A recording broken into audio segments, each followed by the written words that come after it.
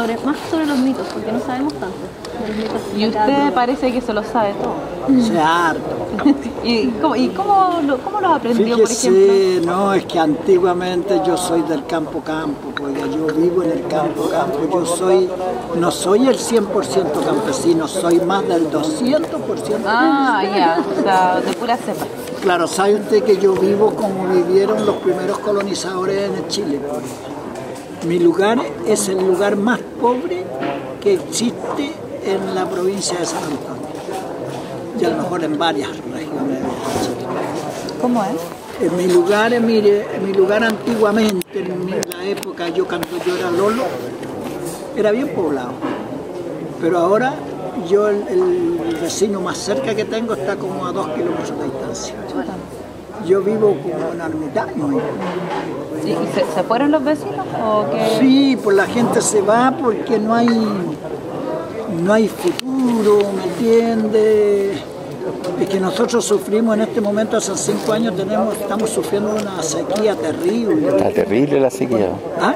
Está terrible la sequía. Claro, a nosotros nos afecta alto, pues, lo afecta, pero terriblemente. Y la gente migra. Claro, emigra por varias razones, también por los colegios, por el trabajo, en fin. Y uno va quedando, sabe usted que esos lugares, y varios lugares más en Chile, se convierten en lugares de viejos nomás. El cabro joven se va. Claro, yo tengo la suerte que el, neuro vive conmigo Y con su nieto. y con mi nieto. Claro. Entonces, por lo menos yo, la, la gente mía está ahí. Y yo no, no, no pienso salir nunca de ahí, porque quiero alto mi lugar, porque mi lugar es originario. Eh, ¿Me entiendes? Yo soy de mis dos apellidos, paterno y materno, son españoles. Yo soy Madariaga Encina. ¿Me entiendes? Y yo, yo heredé este canto allá, todos mis antepasados, mis tíos, mis parientes, todo era por los dos lados, por el lado de mi mamá y por el lado de mi papá. ¿Todos cantan? Todos cantaban. Todos cantaban. Todo. Claro, entonces, ¿cómo está, pues, hijita? ¿Bien? ¿Y usted cómo está? Bien, Me gracias. alegro, gusto de saludarle, pues. Hola, buenas tardes. Claro, entonces, eh, mi lugar eh, era así, pues entonces antiguamente a los chiquillos, los papás, las mamás, eh, les contaban cuentos, no habían entretenciones como ahora, no estaba la televisión, no estaba el teléfono, no había ni una cuestión, no estaba el internet. Eh, entonces, y ahí le contaban todos estos mitos. Fíjese que yo leí un libro que escribieron aquí en Alhué, donde hablaban de la carchona. ¿Y quién es la carchona? La carchona, según la gente antigua, era una señora que era bruja y para salir a volar la noche se, eh, se echaba unos untos, unos ungüentos a su cuerpo y se convertía en una cabra, en una chiva. ¿Y volada? y volaba pues. Entonces, y resulta que al marido no le gustaba que, lo que ella hacía. Y vino el marido y después cuando volvía ella, se volvía a echar los, los ungüentos de nuevo y se volvía la señora que era. Y esa vez el hombre le escondió los, los. ¿Y qué hizo? Quedó quedó como cabra. en cabra y le llamaban la carchona. Era una chiva que peleaba con los perros, en las casas de campo siempre hay perros bravos. Y peleaba con los perros y se metía a la cocina y se robaba la comida y cuando y, y, y sabe usted, y un colega mío de aquí de, de la comuna de Las Cabras.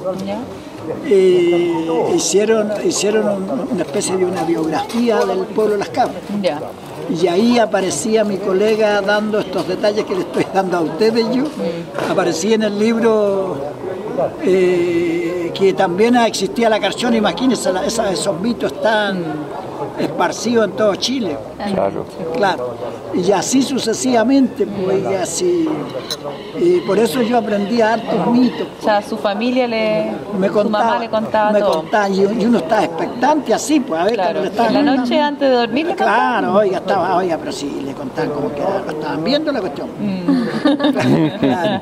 Y cuando fui, yo estaba en Chiloé, porque yo he recorrido, he llegado a- estaba en Punta Arena, eh, estaba en Arique, estaba en- casi en todo Chile, ¿me entiendes? Cantando, tanto a lo divino como a lo humano.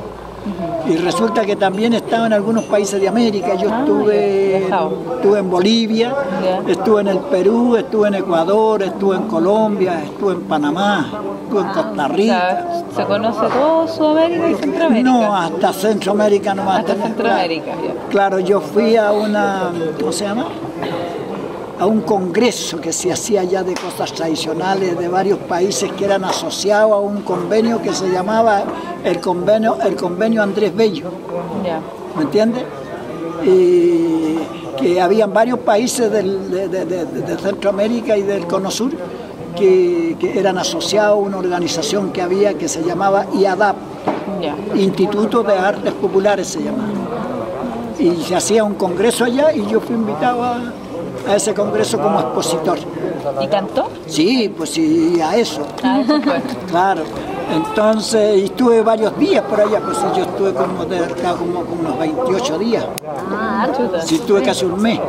Y conocí varias partes de su pueblo, porque donde más estuve fue en Panamá. Y Panamá es un pueblo chiqui- un país chiquitito. Claro, tiene muy poca gente. Claro. Parece que ya hay que entrar. Sí. Entonces, y, y de aquí de, de, de Aculeo se hablaba mucho aquí. Se dice que a lo mejor nunca nadie le ha dicho esto de Aculeo. Ustedes dicen que aquí fue donde primero llega, se, se formó un criadero de caballos corrales. Ah, sí nos, sí nos contaron. ¿Les contaron? Nos contaron que los caballos vienen, el- la raza chilena viene de acá. Claro, eran, y, y se llamaban acoleguanos. A Culeguana, ah, ya. Claro, y el que tenía un caballo acoleguano era porque el caballo le valía Oro. un dineral, pues. Sí. Claro, era, eh, y era, era aquí donde hubo, eh, hubieron unos señores de apellido Letelier, Sí. Claro, que tenían, eran dueños de varias partes por aquí. Sí. Sí, hay una parte que se llamaba Los Hornos, Sí, que estaba más, más claro, otra parte se llamaba, a ver, a ver, a ver, a ver, Los lo, lo Abrante, Abrante. Abrante, Sí, también. claro, y, y, y Rangue, que está al final. Rangue, sí. Rangue. Claro. Y fíjese que por aquí esta travesía, esta travesía de. Nosotros lo vinimos por ahí, lo vinimos por Melipilla. Y es re malo el camino. Sí. Y, y sabe usted que este camino, yo tengo, yo leí la historia de, de Manuel Rodríguez, que Manuel Rodríguez se vino por aquí a caballo y llegó y asaltó Melipilla en la época de los españoles. Y, y- y arrancó por aquí mismo. Claro, y yo este camino. Claro, este camino, a- yo lo leí en la historia de Chile. ¿Me entiendes? Eh, no es que Manuel Rodríguez pero no estaba por acá en la época colonial, pues, cuando, Andaba por todos lados ahí. claro, claro, también por ahí, por ahí una parte que llaman Chiñihue, aquí al otro lado, claro, y, y así pues Es entonces, pura historia por acá. po. Claro, no tiene historia. Claro. Y realmente este cerro Cantillana, hay un cerro aquí más allá que se Sí. llama el Sí. que parece que hoy día es declarado como patrimonio Sí, Sí, porque de la, de humanidad. Sí, hay mucha biodiversidad. Sí. Hay muchas cosas que solo animales, vegetales, que están solo ahí. ¿Sabe usted, que, ¿Sabe usted que yo cuando fui a Punta Arena, yo le tengo miedo a los aviones? Sí. pues, oiga. ¿Se fue en avión en-. Es que Punta es muy lejos. Claro, no, llego a, a una semana, tiene que ir por el lado argentino. Sí. Sí. Es verdad. Claro, eh, y sabe usted que cuando eh, es re malo hay alto turbulencia en el sur de Chile para los aviones. Y sabe usted que cuando llegamos a frente a Chiloé, yo le dije al cabrón, yo le dije aquí, de aquí llegamos a tierra pareja. Aquí el avión, le dije yo, si se, si se echa a perder, por lo menos aterriza en un potrero por ahí. Aquí el avión se viene por estos cerros. Claro, vienen, lo que vienen diciendo dónde viene. Y, dice, venimos frente al Cerro Cantillana, frente a la Laguna de Aculeo. Y bueno, ¿y por qué no se viene por acá? Decía yo, mí por los valles. Por si se cae. Claro, yo pensaba que se podía caer. Claro. Y realmente, fíjese que me- yo quedé traumatizado cuando fui a Panamá. El avión que yo me fui, eh, volaba, eh, los vuelos eran por el mar, todos los vuelos eran por el mar, y frente al mar. Y sabe usted, y, y la azafata, cada vez que el avión bajaba y tomaba vuelo de nuevo, eh, las azafatas dan una, una, como una instrucción de que Oiga, van a conversar, a conversar luego, vamos a cargarnos ya, para allá. sí.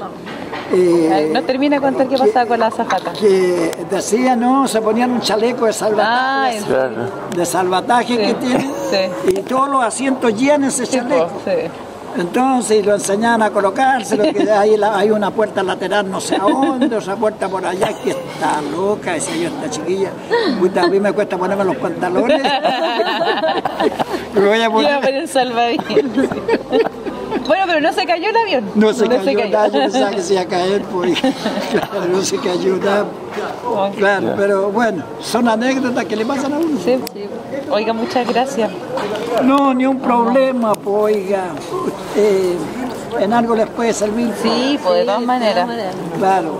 Usted es una eminencia acá, del canto. Mire, sé harto sobre el canto, harto. sé harto, harto, O sea, si sus abuelos cantaban, todos cantaban. Esto una... Aquí. Uy, no lleva sonite. Vamos a hacerse la... A don Hernán Busto, porque él no mandó que viniera a representarlo acá. pues, Ah, Quiero un medio de verificación. ¿Qué pasó acá? Ya. Oiga, le vamos a justificar la pega, señor profesor Toledo, para que, Claro, para que me que llegue. Bilibili. no, pues le voy a el lambusto, le voy a que dado. Oiga, Ariel. Sigue filmando. Oiga, hasta que le ponen la foto abajo, digan Melipilla. esta foto fue tomada con todo Bilibili. ¿Queréis No, si él confía en mí, porque yo siempre estoy metido en la cultura, por eso digo que viniera. Claro. Estábamos a pasos de la calle Serrano. Fue un honor para mí. Yo vine encantado, como no me gusta.